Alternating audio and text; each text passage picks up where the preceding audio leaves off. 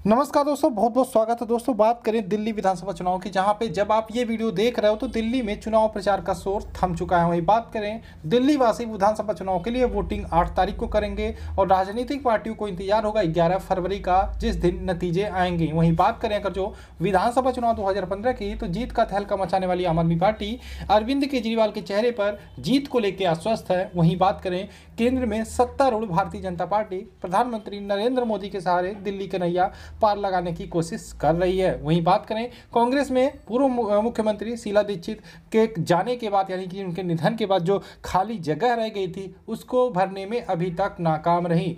दिल्ली में सत्तर विधानसभा सीटें हैं। पिछले चुनाव में आम आदमी पार्टी ने रिकॉर्ड सत्तर में से सड़सठ सीटों पर जीत हासिल की थी। लेकिन क्या इस बार आम आदमी पार्टी फिर से वही चमत्कार कर पाएगी? इसको देखना बहुत बड़ी बात हो गई। तो हम आज इस वीडियो में देखेंगे ओपिनियन पोल क्या कहता है दिल्ली में दिल्ली के जनता के दिल में क्या है वो आठ तारीख को किसका बटन दबाने वाले हैं, किसको मुख्यमंत्री पद पर बैठाने वाले इसको देखेंगे। तो आइए ओपिनियन पोल को देखते हैं। तो सबसे पहले हम बात करें वही लोकसभा जो नतीजे आए थे 2019 की, उसमें दिल्ली में लोकसभा में टोटल सात सीटें आती हैं तो बीजेपी को टोटल बात करें, सात की सातों सीटों पर कब्जा किया था। और यही बार बार बीजेपी बोल रही है कि हम चालीस से पैंतालीस सीटें जीतेंगे, और आंकड़ा जो है वो लोकसभा चुनाव 2019 का दिखा रही हालाँकि एक सर्वे ये भी हुआ कि आप अगर जो अभी लोकसभा चुनाव होते हैं तो किसको वोट देते हैं। तो दिल्ली वालों ने ये कहा, अगर जो अभी लोकसभा चुनाव होते हैं तो हम फिर से बीजेपी को वोट देने वाले यानी कि लोकसभा में अब वो बीजेपी को वोट देने को तैयार है, लेकिन विधानसभा में ज़्यादातर लोग आम आदमी पार्टी की ओर इशारा कर रहे हैं। तो आइए अब देखते हैं, क्या कहता है जनता का ओपिनियन पोल क्या कहता है दिल्ली का दिल, और किस बार इसको दिल्ली वाले मुख्यमंत्री बनाने वाले हैं। तो बात करें अगर जो दिल्ली विधानसभा चुनाव 2020 में किस पार्टी को कितनी सीटें मिल सकती हैं, इसको लेकर एबीपी न्यूज़ ने सी वोटर के साथ मिलकर ओपिनियन पोल किया।